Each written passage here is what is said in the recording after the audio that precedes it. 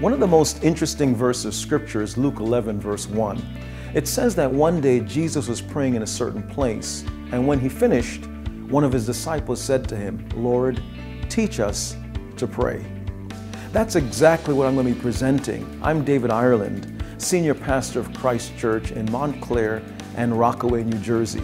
I'll be presenting a topic on what it means to be leaders and prayer when we meet January 27th, 28th, and also the 29th in Pennsylvania as we come alongside concerts of prayer and the leaders in this region, we bend our knees before God. Not only do we cry out to the Lord and seek His face, but we're going to learn from one another truth that can transform our congregation and the cities in which we serve.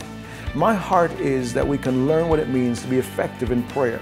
Some questions I'll be answering are these What kind of prayer habits do city reaching and city taking leaders employ?